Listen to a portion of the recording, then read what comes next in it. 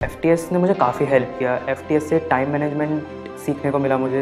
FTS के question से पता चलता है कि जेई एग्ज़ाम में कौन से क्वेश्चन आने वाले हैं। हाय फ्रेंड्स मेरा नाम रचित अग्रवाल है और मैं यहाँ जलंधर ब्रांच में चार साल से पढ़ रहा हूँ। दो साल तो मैंने फाउंडेशन के लिए तैयारी की है एंड दो साल से मैं जेई मेंस एंड एडवांस के लिए तैयारी कर रहा था।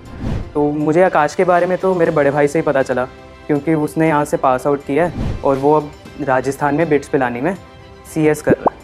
तो उसको देख के मुझे भी लगा कि मुझे भी आकाश ज्वाइन करना चाहिए तो मैं उसको देख के ज्वाइन किया। जब मैं टेंथ क्लास में था तो मेरा मेन सब्जेक्ट मैथ था। मैथ मेरे अच्छे नंबर आते थे। तो थोड़ा इंडिकेशन तो मुझे वहाँ से मिल गया कि मुझे इंजीनियरिंग के रिलेटेड ही कुछ करना है।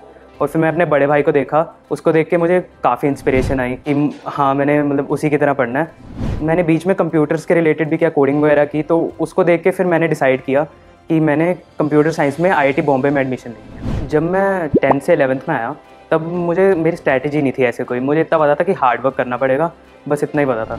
मैंने अपनी टीचर से काफ़ी गाइडेंस लिया इस मामले में। टीचर्स ने मुझे गाइड किया कि क्लासेस रेगुलरली लगानी है घर जाके रिवाइज़ करना है नोट्स लेने हैं एंड टेस्ट कोई मिस नहीं करना। मैंने कोई भी टेस्ट नहीं मिस किया एंड टेस्ट के बाद जो उसमें गलतियाँ आई वो सारे डाउट्स पूछे। दो साल में ऐसा कोई डाउट नहीं था जो क्लियर नहीं हुआ।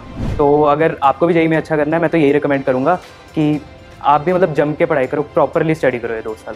लास्ट मंथ सारे बच्चों के लिए बहुत इंपॉर्टेंट टाइम होता है। मैंने अपने लास्ट मंथ मेनली जो पिछले दो साल में पढ़ाया था, उसी को रिवाइज़ करने में लगाए कुछ नया नहीं पढ़ा, जो पढ़ाया था उसी को रिवाइज़ किया। मैंने हाई वेटेज वाले टॉपिक्स को काफ़ी इंपॉर्टेंस दी लाइक फिजिक्स में इलेक्ट्रोस्टैटिक्स हो गया।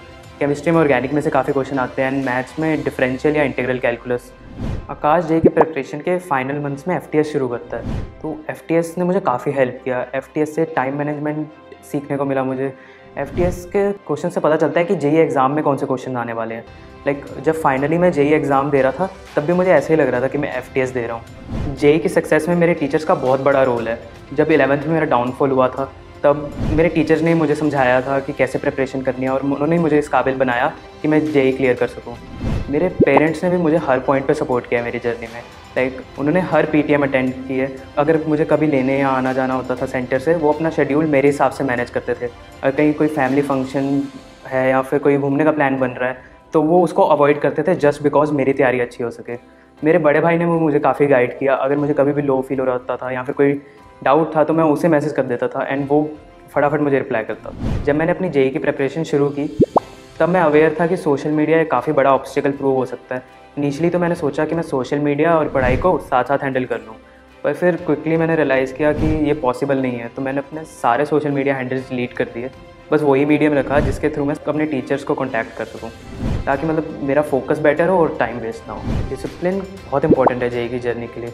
मैं जैसे सुबह उठता था जल्दी और दिन के लिए गोल सेट कर लेता था छोटे छोटे कि मुझे दिन में फिजिक्स में इतना करना है केमिस्ट्री में इतना करना है मैथ्स में इतना करना है। वो चीज़ बहुत हेल्प करती है। एंड मैं रोज़ क्लासेस लगाता था एंड घर आता था रिवाइज़ करता था एंड ट्राई करता था कि at least six two seven hours पढ़ ही लूँ उसके बाद। डिसिप्लिन के बिना आई डोंट थिंक मैं कुछ कर पाता। अगर कोई भी काम करना है तो discipline is of the utmost important मैं फ्री टाइम में गाने सुनता था। मुझे गाने सुनने का बहुत शौक है। एंड अगर कभी किसी से बात करने का मन हुआ तो मैं अपने पेरेंट्स से बात कर लेता था। या फिर कभी कभी मैं अपने छोटे भाई के साथ क्रिकेट भी खेल लेता था। बोर्ड का सिलेबस एंड जेई का सिलेबस 95 परसेंट सिमिलर होता है। तो मुझे कुछ ऐसे ज़्यादा एक्स्ट्रा पढ़ना नहीं पड़ा, जो क्लास में पढ़ाया था वही आता था। फ़र्क बस इतना है कि जेई ऑब्जेक्टिव है एंड बोर्ड सब्जेक्टिव है। तो मैंने एक बार एन e पढ़ ली ताकि लैंग्वेज समझ में आ जाए। बाकी ये तो फिज़िक्स केमिस्ट्री मैथ्स के लिए हो गया। जो इंग्लिश एंड फ़िज़िकल एजुकेशन है, उसके लिए मैं थोड़ा थोड़ा टाइम निकाल लेता था। वो इतने टफ सब्जेक्ट्स नहीं हैं तो आसानी से प्रिपरेशन होगी जो बुक्स मुझे आकाश ने प्रोवाइड की थी, वो जेई की प्रिपरेशन के लिए इनफ होती है। मुझे आकाश ने हर सब्जेक्ट की ट्वेल्व मॉड्यूल्स दी जाती हैं छः इलेवंथ के लिए छः ट्वेल्थ के लिए। उसके अलावा सक्सेस मैग्नेट या अचीवर ये सारी बुक्स दी जाती हैं। तो वो जेई की प्रिपरेशन के लिए इनफ होती हैं। उसके अलावा केमिस्ट्री की एन e भी पढ़ी थी मैंने, क्योंकि उसमें से काफ़ी क्वेश्चन आ सकते हैं। मैंने अपनी जेई के जर्नी के अंदर जो फ्रेंड्स बनाए थे वो मेरी तरह स्टूडियस ही थे काफ़ी। वो अपने गोल्स पे फोकस करते थे। तो अगर मुझे कोई डाउट होता, मैं उन्हें भेज देता था। उन्हें कोई डाउट होता, वो मुझे भेज देते थे। बाकी जो स्कूल के फ्रेंड्स थे, वो मेरी इस जर्नी को सपोर्ट करते थे और मेरी मदद ही की है उन्होंने। पर मैं रिकमेंड करूँगा कि सेल्फ स्टडी करना अच्छा है। ग्रुप स्टडी में ज़्यादातर सिर्फ़ बात ही होते हैं। फ्रैंकली बताऊँ तो आपको भी वैसे ही दोस्त बनाने चाहिए, जो आपकी जर्नी में आपकी हेल्प करें। शुरुआत में तो मैं काफ़ी फोकस था कि मुझे कम सोना है, पर ओवर टाइम मैंने रियलाइज़ किया कि कम सोने से नुकसान ही होता है, फ़ायदा तो नहीं होता। जब तक आपको क्वालिटी स्लीप नहीं मिलेगी, आप क्वालिटी वर्क नहीं कर सकते। तो आपको at least six two eight hours तो सोना ही चाहिए, ताकि आप अगले दिन के लिए फ्रेश उठो रिचार्ज उठो। और मैं यूजली अपनी स्टडी मॉर्निंग आवर्स में करना प्रेफर करता हूँ। मैंने आकाश का मैंने फोर इयर्स प्रोग्राम लिया था तो उस प्रोग्राम लेने से पहले मैं काफ़ी कम पढ़ता था। मैं मैक्स टू मैक्स एक घंटा या फिर दो घंटे दे पाता था, क्योंकि कॉन्सेप्ट मुझे इतने क्लियर नहीं रहते थे। पर जब मैंने फाउंडेशन प्रोग्राम लिया तो उसमें धीरे धीरे मेरे कॉन्सेप्ट क्लियर होने लगे तो मुझे पढ़ाई में ज़्यादा इंटरेस्ट आने लगा और मैं ज़्यादा टाइम देने लगा।